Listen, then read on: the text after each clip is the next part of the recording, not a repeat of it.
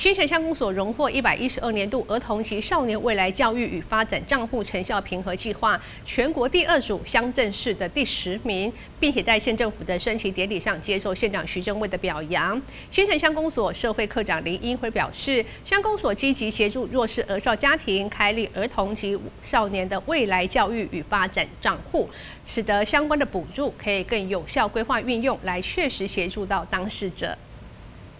新城乡公所荣获一百十二年度儿童及少年未来教育与发展账户成效评核计划全国第二组乡镇市的第十名，并且在七月一号在花莲县政府升旗典礼当中接受县长许中表扬。新城乡公所社会科长林辉表示，新城乡公所积极协助弱势儿少家庭开立儿童以及少年未来教育与发展的账户。让相关补助能够有更有效的规划以及运用，确实来协助当事者。乡长何立台表示，为了协助儿童以及少年未来教育与其发展的账户，提升儿童以及少年平等接受良好教育以及生涯发展的机会，协助儿童以及少年未来教育以及发展账户的开户，是新城乡公所社会科的重要业务，并获得全国前十名的佳绩。凡是民国一百零五年一月一号以后出生的未满十八岁的列册低收入户，或是中低收入户儿童以及少年，